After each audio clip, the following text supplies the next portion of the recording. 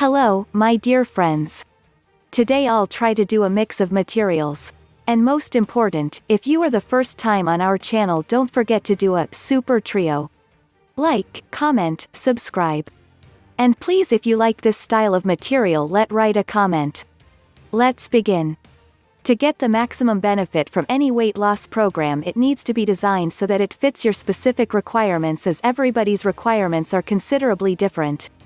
The only way that you can determine exactly what you require is to look at all aspects of your lifestyle, from the food you eat to the exercise that you do on a regular basis.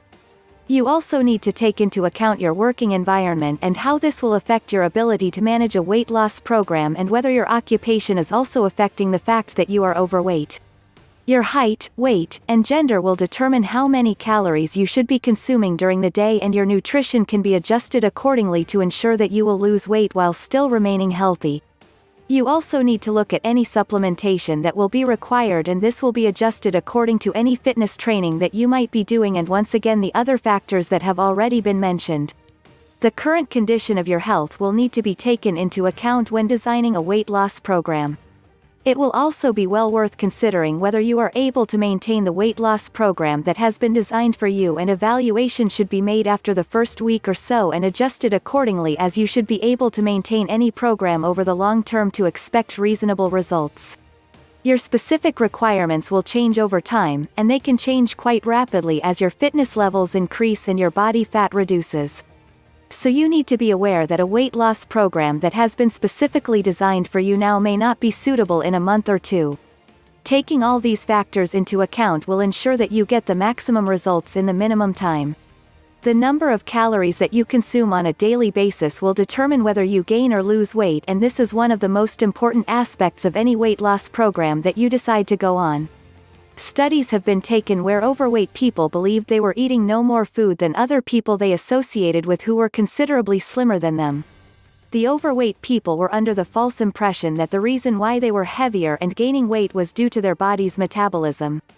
When keeping a record of their food consumption over a specified period of time it was shown that they were actually consuming more calories and it had nothing to do with their metabolism but rather their choice of food and the quantities they were eating. You only need to reduce your calorie intake by 100 calories per day to make a substantial effect on your weight over the period of the year. This is a very manageable goal for almost everybody and it is not too difficult to cut back by that amount, however many of the weight loss programs are recommending considerably more reduction in calories making it very difficult to maintain and as a result of this many people are failing to achieve what they start out to do. Now when you combine the fact that you only need to reduce calories by that much, with additional supplementation of vitamins and minerals that can help your overall health, you can see how you can stay nutritionally balanced throughout the whole weight loss process and not feel as though you are starving yourself. For many people just knowing that the hurdle is not so great, and that there are suitable supplements to assist them, is enough to ensure that they can start and maintain a good weight loss program. What you believe is what you will get and this is particularly so with weight loss. How many times do you say that you have finished lunch or dinner only to pick up another piece of food and eat it?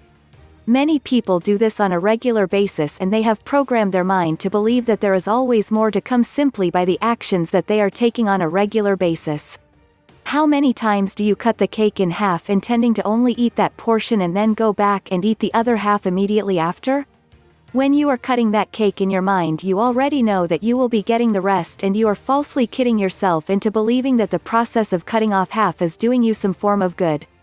In fact, it is better to decide on how much you will be eating and then eating that portion even if it is the whole amount because you will at least be true to yourself. If you are constantly allowing yourself to fail by succumbing to additional food then you are training your belief system in a negative way and this begins to affect all aspects of your life. It doesn't matter what you say to other people or what you try to have them believe. It is not helping you one bit to tell everyone that you won't be eating any more cake.